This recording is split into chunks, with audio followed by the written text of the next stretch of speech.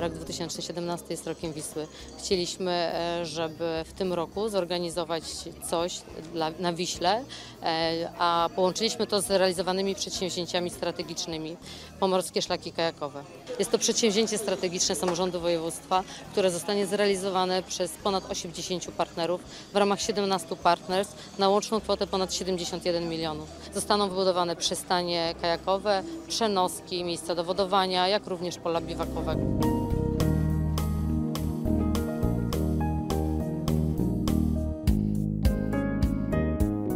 Trasa super, troszkę niespodzianek, jeżeli chodzi o łachy, ale generalnie elegancko, bardzo fajnie. Ogólnie piękne były widoki, że na przykład można było zobaczyć zamek w Gniewie i, du- i dużo różnych rzeczy.